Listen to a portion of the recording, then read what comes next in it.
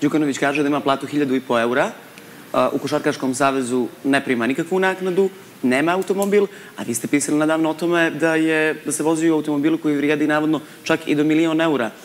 jesu li oni prikazali stvarno stanje stvari u tim imovinskim kartonima? Što misliš? Hazbije Kalaša si živi da kaže da živi 450 eura mjesečno. Ja Treba li da im... očekujem, Milice, makar osmijeh poslije tog pitanja, da li Milo Đukanović živi od plate od koliko, hiljadu i po evra. To su podaci koje on zvanično prijavio.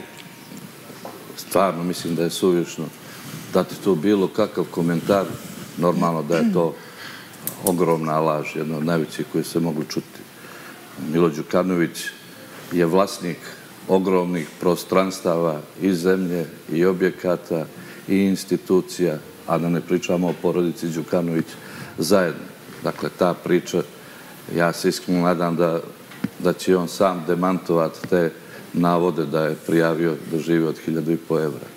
Pomenuli smo prosječnu platu od 500 evra u Crnoj Gori i obećanjima Milo Đukanovića da će prosječna plata biti 1000 evra, je li tako? Jeste. Skoro koliko i njegova danas. 500 evra prosječna plata također još jedna smijurija. Prvo što treba da znamo to je da najveći poslodavac u Crnoj Gori je država Crna Gora.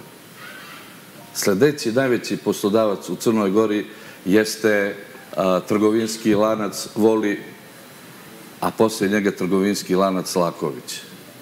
Dakle, kad pričamo o prosječnoj plati, mi pričamo o prosječnoj plati malte ne u državnoj upravi.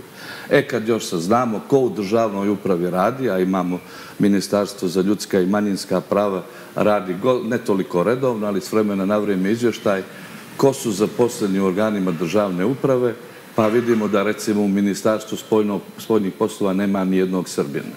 I da ima niz takvih ministarstava koje slovom i brojem nemaju apsolutno jednog čovjeka koji se izjašnjava da je srpske nacionalnosti.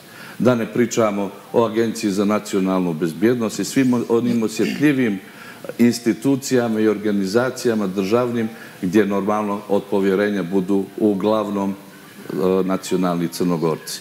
Istina, da dodam tome, do nedavno vrlo slična situacija je bila sa Albancima i sa Bošnjacima, ali sad kad već imamo jednu, više nego jednu trećinu bošnjaka, odnosno muslimana u ministarskim foteljama, rapidno se promijenila ta situacija što je za pohvalu.